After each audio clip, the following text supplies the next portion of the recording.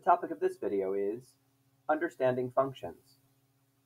Conceptually, a relation is a machine that accepts an input, follows a series of instructions, then delivers an output.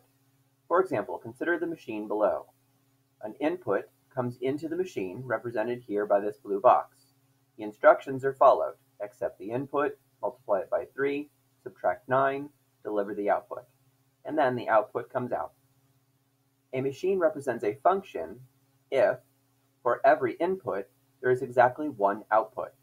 And since different machines, i.e. functions, do different things, each one needs a name so we can tell them apart. For example, let's name the function above f, f for function, shown here.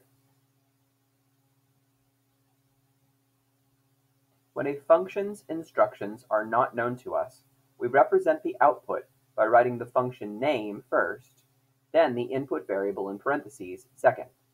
For example, in this function, the input is x, the function name is f.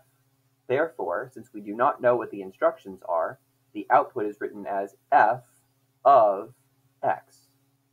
Notice that the output is f of x. This means that the instructions f were applied to the input x, and f of x is what came out. When the function's instructions are known to us, then that same f of x is written as an algebraic expression instead. For example, if the input x is accepted into a machine f below, it is multiplied by 3 to create 3x, then 9 is subtracted to create 3x subtract 9, then that output is delivered. So when an input x goes into a machine named f, the output is f of x, which in this particular case equals 3x minus 9. Hence, f of x equals 3x minus 9. When an equation is written in function notation, it represents a series of instructions that are applied to the input.